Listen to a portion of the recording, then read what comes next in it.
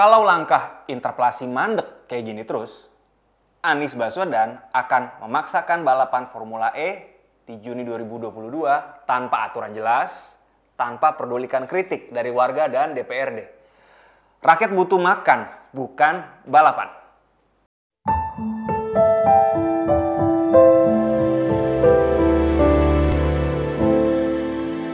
Udah hampir sebulan sejak PSI dan PDIP mengusulkan forum interpelasi.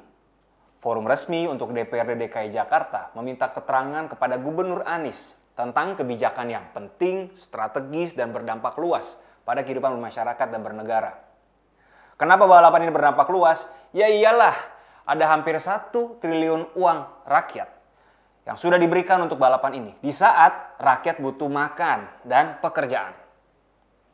Kalau balapan ini terus berjalan sampai lima tahun ke depan, maka dana dari uang rakyat bisa habis sampai empat setengah triliun rupiah. Bayangkan betapa banyak bansos yang bisa diberikan kepada masyarakat di saat pandemi. Ada juga nih temuan dari Badan Periksa Keuangan DKI Jakarta tentang Formula E. Kajiannya bermasalah, isi perjanjiannya juga bermasalah.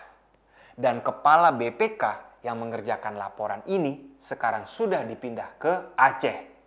Terlihat aneh, karena sepertinya orang ini dilemparkan ke ujung daerah. Biasanya sih yang saya pahami, dari daerah atau ujung daerah bekerja, barulah pejabat ini dipindahkan ke Jakarta. Ini malah sebaliknya, dari Jakarta dilempar lagi ke daerah. Kayaknya ada nih yang kesel dengan laporan BPK Formula E. Saya juga sudah pernah bahas bahwa di tahun 2022 sektor pariwisata belum akan normal kembali. Jadi Formula E ini akan cuma keren di foto-foto, tapi tidak membawa dampak ekonomi, tidak membawa dampak bagi pariwisata. Malah satu triliun itu akan dibakar begitu saja. Penyelenggara Formula E juga selalu rugi dalam enam tahun ke belakang. Saya masih nggak paham kenapa balapan ini terus dipaksakan. Yang lebih kacau, uang komitmen balapan yang dibayarkan DKI Jakarta lebih besar 20 kali lipat dari yang dibayarkan kota Montreal di Kanada sana. Waktu ditanya, Wagub DKI Pak Riza Patria menjawab, ya memang beda.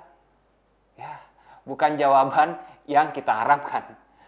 Padahal harusnya nih teman-teman di DKI, teman-teman di Jakpro, dalam segala hal kita itu harus bisa melakukan negosiasi bukan tunduk begitu saja kepada pebisnis asing.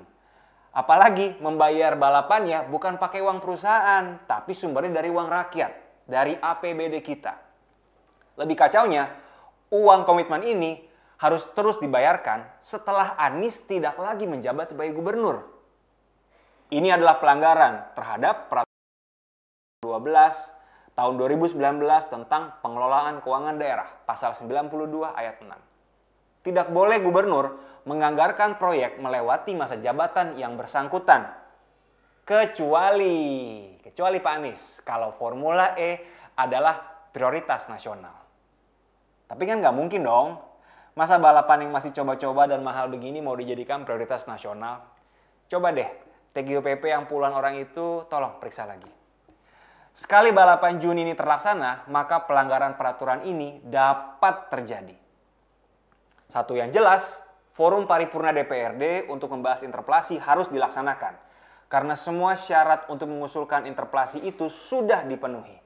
Tidak ada alasan lagi bagi siapa pun untuk menghambat proses yang demokratis dalam semangat menjaga anggaran kita dari proyek yang tidak penting dan tidak perlu di saat pandemi. Interpelasi tidak bertujuan menjatuhkan Anies. Sabar para pendukung Anies, sabar. Masih jauh kok memberhentikan Anies. Ini hanya mempertanyakan penggunaan anggaran jumbo untuk balapan saat rakyat butuh makan dan pekerjaan.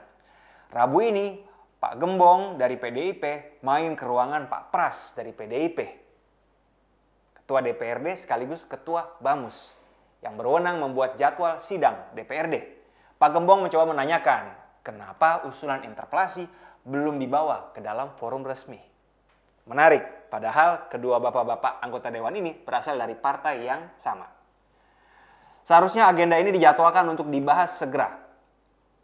Perlu dicatat tinggal 9 bulan lagi sebelum proyek tidak penting dan tidak perlu ini akan terlaksana.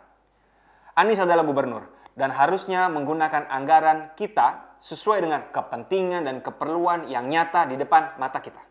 Setuju? Sampai jumpa di kacamata Ren Ernest selanjutnya.